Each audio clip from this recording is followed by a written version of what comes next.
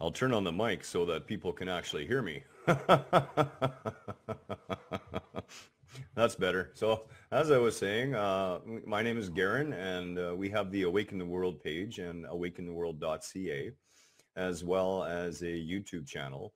Um, this particular broadcast is going to our personal page and it, it's kind of just an impromptu uh, sit down and little discussion over some things that have come up over the last day again.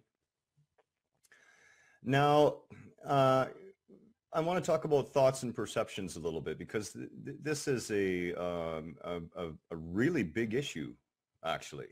And uh, before we do that, uh, I'm just going to take the uh, advantage here to in, in, invite anyone who wants to come uh, and uh, and and we'll we'll just kind of continue from there. So, thoughts in our mind. Uh, in, in, the ego, we have this process, and, and this process we would call thinking, and we believe it's always us that's doing the thinking. And, you know, as I've spoken about before, and as you've heard from the likes of Eckhart Tolle and, and many other masters, uh, we are not our thinking mind. Now, again, I must point out that that ego consciousness, that filter, that one of a kind way of looking at life and the universe uh, is, is not only unique and special, it's valuable.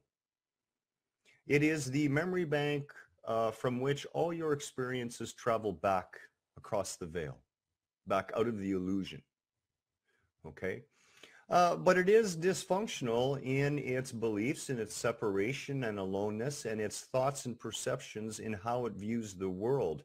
And the biggest thing that we do is, of course, we buy those thoughts as 100% truth. You know, and, and, again, as I've said before, sooner or later you're going to see a baseball bat come through the frame as my wife takes a swing at me because I'm going to use her again as an example. Uh, it's the uh, funeral today of her father-in-law. And uh, there's simply no way that she can go. Uh, it, it not only has her conservative Christian family spent the last three years uh, totally uncommunicative, not, not, responding to any of her attempts and, and just really acting par for the course for ego, okay, uh, it, it's just, it's too uncomfortable. And yesterday that was really, really getting to her. And her thoughts, what she was telling herself, what the ego was telling itself about everything was creating uh, really nasty feelings inside of her. She was really sad. I could tell her energy was depressed. It was obvious. It was like, you know, it was a dark cloud floating over her as she walked in the room. Um, you know, one of these days I'm going to get my wife to actually come on the video here when she's, uh, you know, willing to get in front of the camera and, and maybe uh, tell you what a joy it is living with someone who reads you like a book that you're totally transparent to. there's there's days I'm sure where it feels like the worst classroom she's ever been in, but uh, you know, I, I, I, honestly do it out of love. And I, I do these out of love for all of you. I, all of our suffering, all of it stems from our thoughts and perceptions. Now, I, I know you're going to say, wait, wait, wait, wait, wait. What about when I cut myself? It hurts. Well, it, that too is a thought and a perception. The same signal, the, the same electrical current that tells you that you're feeling pleasure is the same electrical uh, signal, the same current that tells you you're feeling pain. It, that, that signal doesn't tell you anything at all, actually. You interpret it. Now, there's been times in my life where I, have been so focused on what I've been doing that I, I have actually cut myself quite badly. And, and uh, actually the one time there was a woman screaming because of the amount of blood that was flowing out of my head. And, and I wasn't even aware that I had been cut. Now, in those moments, you have to ask yourself, clearly the signal still went to my egoic conscious self, that false sense of self. But that signal wasn't processed. My, my being was so focused on what it was doing that my, my ego totally ignored the signal's existence. And in that, my perception was that I had not been cut. And I continued to live that perception until a, you know, a, a well-meaning woman who couldn't stand the sight of blood started screaming. and then I realized, oh, I had been cut. But if, if you had asked me, well, when did I get cut? Or how did it feel when it happened? I, I couldn't tell you. Th- that is a, uh, a clear indication of how our thoughts and perceptions work. We literally think reality along for ourselves. We do that at a personal level and we do that at a family level. We do that at a communal level of all sorts and we do that at the larger level right through into our world. This world is a product of all the thoughts.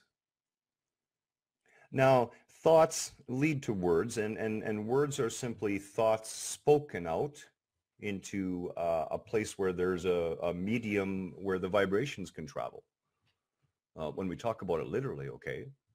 Now, and those words, of course, th- those words are a meaningless, guttural mix of sounds unless interpreted. And those interpretations will vary from mind to mind, from ego to ego, depending on their experience with those words. Th- this is the, the, the grand Maya that our uh, egoic minds create. We are the ones creating the illusion. We didn't walk into an illusion. We walked in with an agreement that for a short period of time, we were going to forget what we were so that we could really enjoy the trip. But in that forgetting, and over the last couple thousand years, the ego has grown stronger and stronger and stronger. And with the birth of our our technology with which, and I will uh, say this so we're clear about this, technology is not inherently good nor bad. It simply is. It is always in our choices, in our perceptions of what we should be doing with that technology that we run into trouble. So thoughts and perceptions. What we perceive determines our reality. Now, you know, there's some people are going to say, well, okay, if I'm looking at a tree and um, I convince myself that that tree is a flying purple elephant, no one else is going to see that flying purple elephant. And, and I would say, well, back up a minute. What exactly is a tree? It, tree is a very convenient label we, we put on a, a conscious being that spends its life giving back for us tree does nothing to describe the, the, the wondrousness nor the variety of that sort of conscious being. And, and, and this is our, my, my puppy saying hello. And, and, and this is our, our, our dance that, that, that we, we get into with life, okay? Once you can understand that your thoughts are determining your reality, you can very easily begin to make decisions to change your thinking. Now, I, am not talking about some life coach, psychologist, mumbo jumbo. I, I, quite frankly, I don't believe in any of that. Any of the things we do that involve letting the, the ego uh, build itself up even more by continually telling its miserable story over and over and over again, I, I don't see that fixing anybody. All I see that doing is, is making for huge counseling bills. my, my, technique is, is much simpler. And sure, if you find it valuable, send me a check. That'd be a great idea. and, and, and my technique is this. Nothing that you will ever think about who you are is the truth. Now I know that that sounds hard to accept. You know, you can sit there and you can say, well, you know, I, I graduated university. I'm a doctor. I have a doctorate. Well, that you, you are not a doctor. That's a role you took on. It's a role that the ego became trained for. And you will identify with that role to some level. And the more you identify with the role, the more you think that that's what you are. And the more your thoughts and perceptions are geared to that. But you're living now in a false reality within the illusion. There's seven and a half billion of them going on on the planet right now. And none of them are wrong per se. But at the same time, none of them are actually truth. The reality of what's going on is far different than what our thoughts and perceptions are. Perception, thoughts are choice. Consciously or unconsciously, we make these choices all the time. And, and I have to tell you that it's not easy sometimes you know, despite the level of awareness I maintain, and and if you get to know me better over time, you will find that uh, I I maintain about a eighty percent blessed silence in the core of my being during a day. I I don't fall whim to ego, and in that you understand that when you take your thoughts and perceptions off of things, when, when, when you stop judging and just allow life to live itself through you, everything becomes smoother. Things begin to fall in line easier, m- more quickly than you would imagine.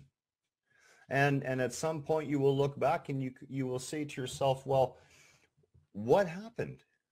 D- did I get in good with the big guy upstairs all of a sudden? Did I get in line with my higher self? And, and the, the real simple answer is none of those things. The only thing you did is choose to change how you perceive your existence. Choose to change how you think about yourself, how you think about those around you. Now, thinking has a place and thinking can be very valuable, but unguided, misdirected thinking, allowing the ego to just run rampant. You, you see, the ego is, is really a computer. It is not capable of dealing with anything new. It has to make a comparison in order to understand and and that understanding is is so surface level really. Actually kind of floating above the surface still. This the, the ego cannot uh, grasp with thinking the true experience of existence.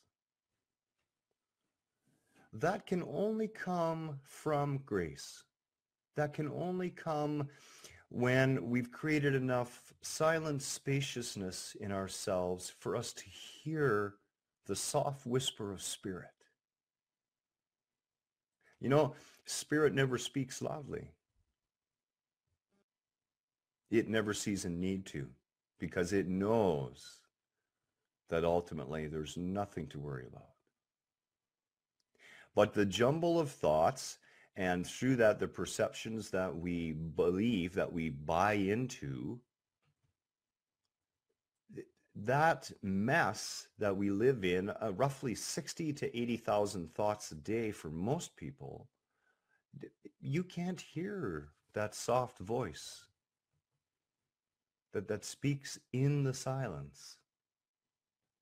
And it is my heartfelt wish for you that you come to learn to know that voice within yourself. Not the one that babbles all the time, not the one that has an opinion about everything. And I really encourage you to take a look at the video Om Tat Sat to understand that you never were the doer of anything to start with. We are all, and you know, I think Jim Carrey said it one of the best ways I've ever heard it. We are all simply happenings. Now, we as conscious awareness, we're the, we're the director. We're sitting in the chair. We're watching this play. The problem is, is most of you don't understand that you're the director. You still believe somehow that the I you feel you are is, is undergoing life, is being subjected to life. And, and that's never the case.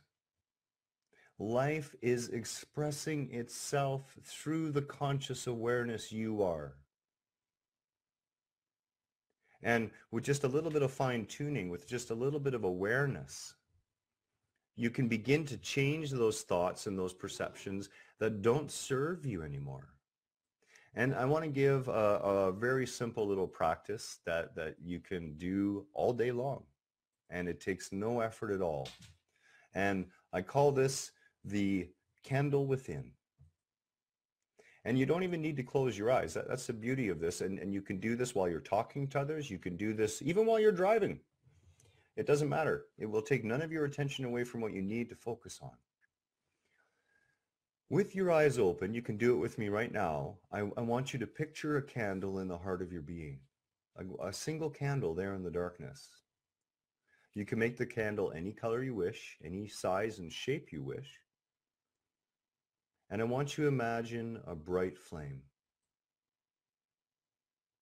And if you look closely, you can see that the flame is casting a 360 degree glowing ball of light around itself out to a certain distance.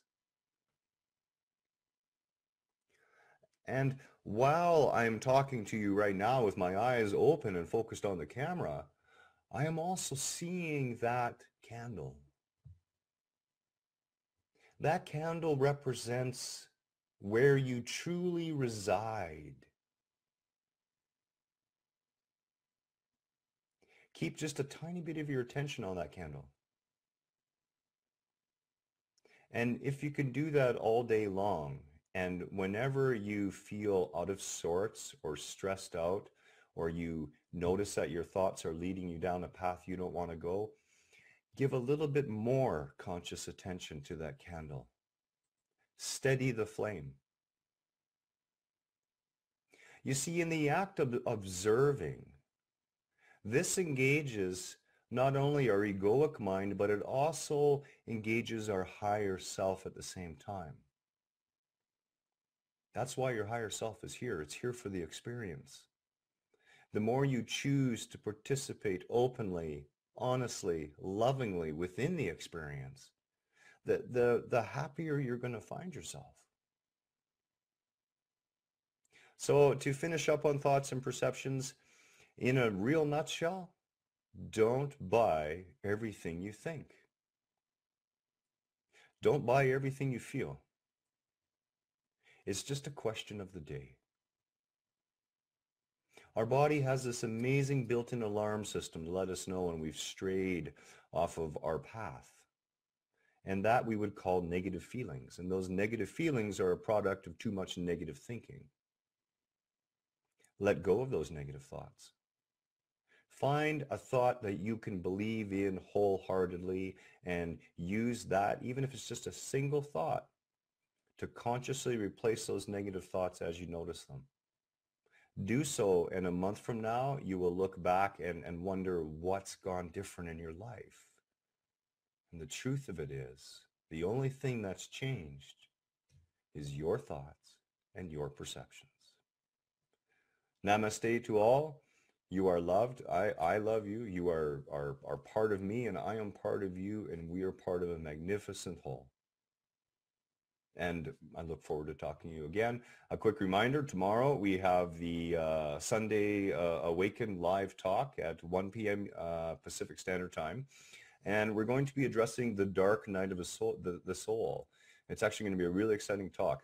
I personally spent seven years in the dark night of the soul. So if there's someone who's got some knowledge about what not to do, I'm the guy.